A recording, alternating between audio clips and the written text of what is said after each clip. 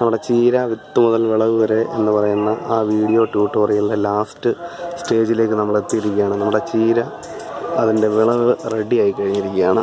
ഞാൻ പറിച്ച് നട്ടതിന് ശേഷം ഏതാണ്ട് ഒരു മാസം എടുക്കുമെന്നാണ് ഞാൻ പറഞ്ഞത്. ഇപ്പം നമുക്കൊരു രണ്ടാഴ്ച രണ്ടാഴ്ച ആയപ്പോഴേക്കും ഇത് റെഡി ആയി കഴിഞ്ഞിരിക്കുകയാണ്. ഇനിയും നിർത്തിയാൽ വളരും. പക്ഷേ ഇത് എന്താ പറയുക ഇതിന്റെ ഇത് മൂത്ത് പോകും. അത് അത് മൂത്ത് കഴിഞ്ഞാൽ അതിന്റെ രുചി കുറയും ഈ ചീര ഇളപ്പം ഈ ഒരു അധികം മൂക്കാത്ത അല്ലെങ്കിൽ അധികം പ്രായമാകാത്ത സ്റ്റേജാണ് ഏറ്റവും നല്ലത്. ഇതിപ്പം കറക്റ്റാണ് ഈ ഒരു പരുവത്തിൽ കട്ട് ചെയ്തെടുത്ത് നമ്മൾ എന്തുവാ കറി വെച്ചാൽ അതിന്റെ ടേസ്റ്റ് നല്ലതായിരിക്കും. അപ്പം നമ്മൾ ഫെബ്രുവരി ഇരുപത്തെട്ടിനാണ് നമ്മളിതിന്റെ വിത്തുകൾ പാകിയത്. നമ്മൾ ഓരോ ഘട്ടത്തിന്റെയും എന്തൊക്കെയാണ് ചെയ്തത് എന്നുള്ളത് ഓരോരോ ഭാഗങ്ങളായിട്ട് വീഡിയോയിൽ നമ്മൾ അവതരിപ്പിച്ചു. അതിന്റെ ഒരു അവസാന സ്റ്റേജ് അതായത് വിളവെടുപ്പ് എന്ന് പറയുന്ന സ്റ്റേജിലേക്ക് എത്തിയിരിക്കുകയാണത് നോക്കാം. ഓക്കെ. ഈ ഒരു സ്റ്റേജിലാണ് ഇതിന്റെ ഏറ്റവും ചീര അതിന്റെ രുചി കൂടുതൽ അനുഭവപ്പെടുന്നത്. അപ്പം നമ്മൾ നേരത്തെ പല വീഡിയോസിലും നമ്മൾ പറഞ്ഞിരുന്നതാണ് നമുക്കിപ്പോൾ രണ്ട് രീതിയിൽ കട്ട് ചെയ്തെടുക്കാമെന്നുള്ളത് ഒന്നിത് വേരോടുകൂടി മു- മുഴുവനെ വേരോടുകൂടി ഇങ്ങനെ പിഴുതെടുക്കുക. അതല്ല എങ്കിൽ കട്ട് ചെയ്തെടുക്കുക. കട്ട് ചെയ്തെടുക്കുമ്പോൾ നമ്മൾ പറഞ്ഞിരുന്നു ഇതാ ഒന്ന് രണ്ട് മുകളങ്ങൾ ഇവിടെ ഉണ്ട് അതുകൊണ്ട് ഇവിടെ വെച്ച് കട്ട് ചെയ്യാം.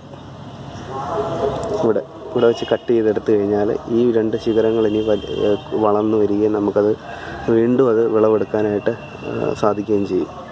ഇത് കണ്ടിന്യൂ ചെയ്യാം. ഇത് കുറേ രണ്ട് മൂന്ന് നാല് തവണ നമുക്കിത് കട്ട് ചെയ്ത് കട്ട് ചെയ്ത് എടുത്തു കഴിഞ്ഞാൽ നമുക്ക് ഒരു ചീരയിൽ നിന്ന് തന്നെ രണ്ട് മൂന്ന് ചീരയുടെ ആദായം നമുക്ക് ലഭിക്കും. ഓക്കെ. നമ്മൾ കട്ട് ചെയ്യുമ്പോൾ ശ്രദ്ധിക്കേണ്ടത് ഇതേപോലെ ഒന്ന് രണ്ട് മുകളങ്ങൾ നിർത്തി വേണം ഇത് കട്ട് ചെയ്യാനായിട്ട്. അപ്പോൾ നമ്മൾ വീര വേരോടെ പിഴുതെടുത്താലും ചീരയുടെ ഇത്രയും പോർഷൻ കട്ട് ചെയ്ത് കളഞ്ഞിട്ട് നമ്മൾ യൂസ് ചെയ്യാറുള്ളൂ. അപ്പോൾ അതിലും നല്ലത് നമ്മൾ ഇതിൽ നിർത്തിക്കൊണ്ട് തന്നെ ദാ ഇവിടെ നിന്ന് കട്ട് ചെയ്തെടുത്ത് കഴിഞ്ഞാൽ ഈ രണ്ട് പോർഷൻസ് വളർന്നു വരികയും നമുക്ക് കൂടുതൽ ചീരയുടെ കൂടുതൽ നമുക്ക് വിളവെടുക്കാൻ സാധിക്കുകയും ചെയ്യും. ഒരു എന്താ പറയുക ഈ ഒരു ഒരു മൂടിൽ നിന്ന് ഒരു മൂന്നെണ്ണത്തിന്റെ ഒരു എഫക്റ്റ് നമുക്ക് അങ്ങനെ നമുക്ക് സാധിക്കും. ഇത് പറഞ്ഞ പോലെ ഇതിനെല്ലാം ഇതുപോലെയുണ്ട്. അപ്പോൾ ഇതിന്റെ ഒരു കേസിൽ നമ്മൾ ഇവിടെ വെച്ച് കട്ട് ചെയ്യും.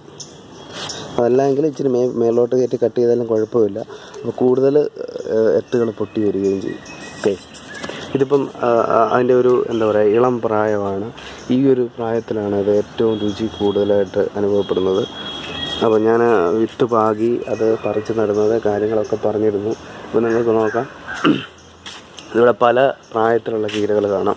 ആ സെയിം വിത്തിൽ നിന്നാണ് ഇതെല്ലാം പാകി വെച്ചിരിക്കുന്നത്.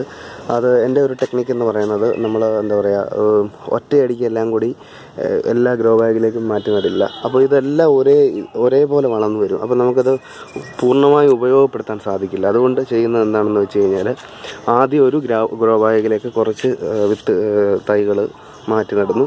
പിന്നെ ഒരു അഞ്ച് ദിവസം കഴിഞ്ഞതിന് ശേഷം ഇതാ അടുത്തത്. അടുത്തതിലേക്ക് പറിച്ച് നട്ടു. വീണ്ടും ഒരു അഞ്ച് ദിവസം കഴിഞ്ഞതിന് ശേഷം അടുത്തതിലേക്ക് പറിച്ച് നട്ടിരിക്കുകയാണ്. വീണ്ടും കുറച്ച് ഒരു ഇതേപോലെ ഒരു കുറച്ച് ഇടവേള കൊടുത്തതിന് ശേഷം ഇതിലേക്കും പിന്നെ വീണ്ടും ഇതിലേക്കും ഏറ്റവും അവസാനം ഞാൻ നട്ടിരിക്കുന്നത് ഇതിലാണ്. അപ്പോൾ ഇതിന്റെ ഒരു ഗുണം എന്താണെന്ന് വെച്ച് കഴിഞ്ഞാൽ നമ്മൾ ഇത് വിളവെടുത്ത് ഒരു മൂന്ന് നാല് ദിവസം അല്ലെങ്കിൽ ഒരു വൺ വീക്ക് കഴിയുമ്പോഴേക്കും അടുത്തത് ഇതാ റെഡിയാവും ഈ ഒരു സ്റ്റേജ് ആവും. അപ്പോൾ നമുക്കിത് കട്ട് ചെയ്തെടുക്കാം. അപ്പോഴേക്കും അടുത്തത് റെഡിയാവും അത് കട്ട് ചെയ്തെടുക്കുക. അപ്പോഴേക്കും അടുത്തത് റെഡിയാകും. അപ്പം ഇതെല്ലാം എടുത്ത് കഴിയുമ്പോഴേക്കും ഇവിടെ നമ്മൾ കട്ട് ചെയ്തെടുത്തിരിക്കുന്നതിൽ നിന്ന് എത്തുകൾ പൊട്ടി കൂടുതൽ ചീരകൾ ഉണ്ടായി വരും. അപ്പം നമുക്ക് ഒരു അഞ്ച് ആറ് മൂട് ഗ്രോ അഞ്ച് ആറ് ഗ്രോ ബാഗുകളിൽ നിന്ന് നമുക്കൊരു മൂന്ന് മാസത്തേക്ക് സുഖമായിട്ട് ചീര നമുക്ക് യൂസ് ചെയ്യാൻ സാധിക്കും. അപ്പം നിങ്ങളുടെ എന്തെങ്കിലും ഡൗട്ട് ഉണ്ടെങ്കിൽ നിങ്ങൾക്ക് ചോദിക്കാം.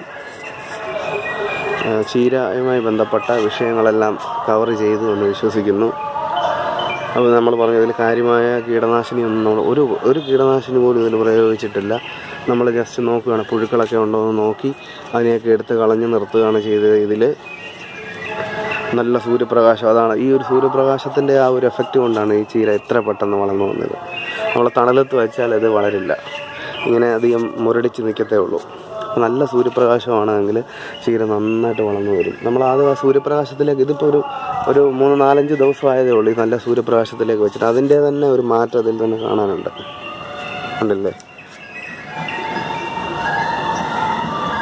അപ്പോൾ ഞാൻ പറഞ്ഞ പോലെ തന്നെ എല്ലാം ഒരേപോലെ പറിച്ച് നടാതെ ഒരു മൂന്ന് നാലഞ്ച് ദിവസം ഇടവേളകൾ വിട്ട് നമ്മൾ രോഗാളിലേക്ക് ചീര തൈകൾ പറിച്ച് നടുകയാണെങ്കിൽ നമുക്ക് എല്ലാം നമുക്ക് ഉപയോഗപ്പെടുത്താൻ സാധിക്കും. ശരിക്കും നിങ്ങൾ ഫസ്റ്റ് കൃഷി തുടങ്ങുക കൃഷിയിലേക്ക് വരാൻ ആഗ്രഹിക്കുന്ന ആളുകളുണ്ടെങ്കിൽ അവർക്ക് പറ്റിയ ഏറ്റവും ഈ ഹരിശ്രീ കുറിക്കാൻ പറ്റിയ സ്റ്റാർട്ട് ചെയ്യാൻ പറ്റിയ ഏറ്റവും നല്ല ഒരു പച്ചക്കറിയാണ് ചീര എന്ന് പറയുന്നത്. വളരെ എളുപ്പമാണ്. ഔട്ട്പുട്ട് ഷുവറാണ് എന്തായാലും നമുക്കിതിന്റെ വിളവ് നമുക്ക് ലഭിക്കും. ഇതിപ്പോൾ ഇച്ചിരി വലിപ്പം കുറഞ്ഞാലും ഇല്ലെങ്കിലും നമുക്ക് വിളവെടുക്കാൻ സാധിക്കും. നല്ല സൂര്യപ്രകാശം ഉണ്ടെങ്കിൽ നിങ്ങൾക്ക് ശരിക്കും എന്താ പറയുക നല്ല രീതിയിൽ ചീര കൃഷി ചെയ്യാൻ സാധിക്കും. നിങ്ങൾ നോക്കി തന്നെ നിങ്ങളെ ആ ഇതിനു മുമ്പത്തെ വീഡിയോ നോക്കി അതിന്റെ അത് പോസ്റ്റ് ചെയ്തിരിക്കുന്ന ദിവസവും ഇന്നത്തെ ദിവസവും നോക്കുമ്പോൾ തന്നെ നിങ്ങൾക്ക് മനസ്സിലാവും എത്ര പെട്ടെന്നാണ് ഇത് വളർന്നു വന്നിരിക്കുന്നതെന്ന്. ഏതാണ്ട് എനിക്ക് തോന്നുന്നത് ഒരു പത്ത് ദിവസം പോലും ആയിട്ടില്ല അത് ഈ ഒരു സ്റ്റേജിലേക്ക് എത്താനായിട്ട്. ഇത് ഇനിയും വളരും പക്ഷേ നമ്മൾ ഇവിടെ വെച്ചത് കട്ട് ചെയ്യുകയാണ്. ഇപ്പോൾ കട്ട് ചെയ്യുന്നതിന്റെ ഒരു കാരണം ടേസ്റ്റ് ഇപ്പോഴാണ് കൂടുതൽ കിട്ടുന്നത്. Okay thank you. ഞങ്ങളുടെ യൂട്യൂബ് ചാനൽ സബ്സ്ക്രൈബ് ചെയ്യുക. ഇനി അടുത്തത് നമ്മുടെ വെണ്ട പച്ചമുളക് ബാക്കിയുള്ള ഐറ്റംസൊക്കെ ഇങ്ങനെ റെഡിയായി വരുന്നുണ്ട്. അപ്പോൾ നമുക്ക് അതിലൂടെ കാണാം. താങ്ക്